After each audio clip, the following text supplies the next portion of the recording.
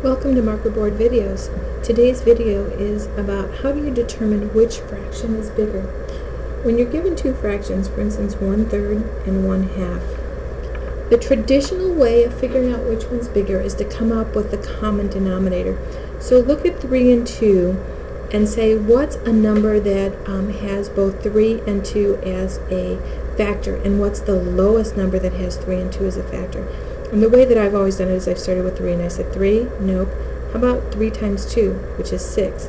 Mm, 6, 6, that works. Okay, so I have 1 third and 1 half.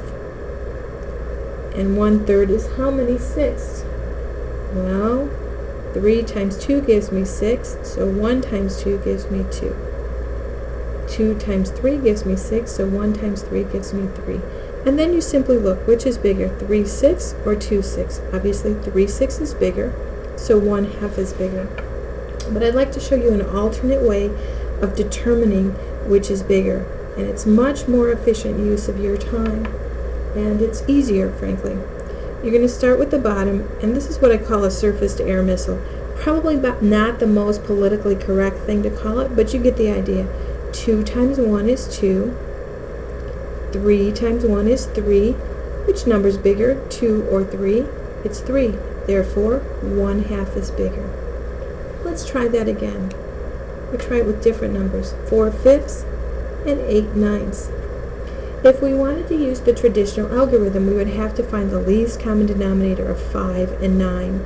I'd start with 9. 9 times 1 is 9. That's not 5 is not a factor of that.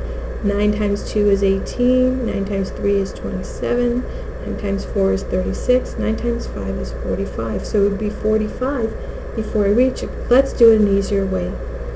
9 times 4, 36, 5 times 8, 40. 40 is bigger than 36, so 8 ninths is bigger than 4 fifths. Another practice problem, 3 sevenths and 5 twelfths. You try that one. I'll give you a minute.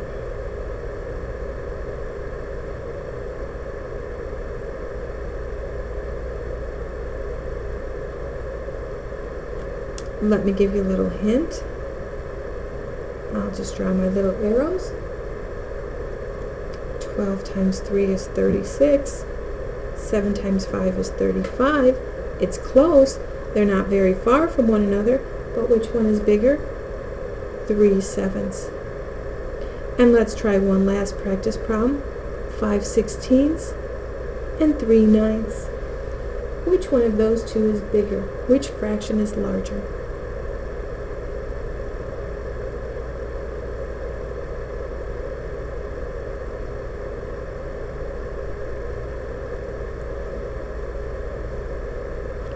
Nine times five is forty-five and 16 times 3, well, I'm not positive what 16 times 3 is. I know 15 times 3 is 45, and then I have to add 3 more because 16 is 1 more than 15. So that must be 48. Which is bigger? 48 or 3 ninths?